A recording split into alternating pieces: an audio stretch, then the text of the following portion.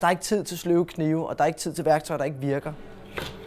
Mit navn det er Jakob Jørsholm. Jeg driver til daglig Feed Bistro på Nørrebro og Wagyu Pusher.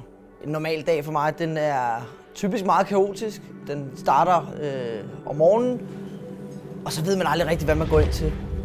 Man skal virkelig trives i den her konstante stress, og man skal virkelig tænde på den her stress for at kunne, øh, kunne have et godt liv som restauratør, vil jeg sige. Fordi der er, altså halvdelen af din dag, det er bare at slukke gildebrænde. Som min gamle far altid har lært mig, så er det 10% talent og 90% hårdt arbejde. Man kan, man kan det, man vil. Altså, jeg har hverken uddannelse eller noget andet. Men jeg satte mig for, at jeg gerne vil have en fantastisk restaurant og have et dejligt personale osv. Og det er der ikke noget, der kunne stoppe mig i. Når man har en så hektisk hverdag og har så mange ildebrænde i løbet af en hverdag, som man skal ned og slukke, så er det simpelthen bare helt essentielt, at man har det rigtige værktøj. Og de ting, man kan købe sig til, bare spiller, dem skal man simpelthen købe sig til. Og så er det jo helt enormt sjovt. Det er jo sjovt at gøre en forskel og kunne se nogle glade gæster hernede, og det er jo det, man kæmper så meget for.